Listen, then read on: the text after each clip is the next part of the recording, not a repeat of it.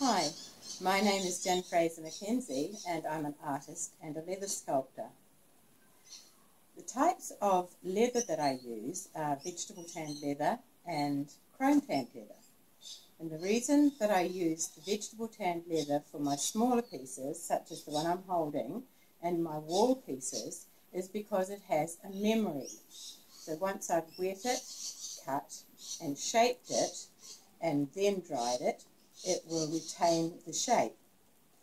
After that, I PVA glue it to air seal it, and then I hand paint the piece. This is a candle holder, and the decorative piece that I've made to go on this is an orchid. Each piece is individually made and hand painted. If you should mention Savon Sip, this piece, which usually retails for $60, would have a $10 discount and could be yours for $50.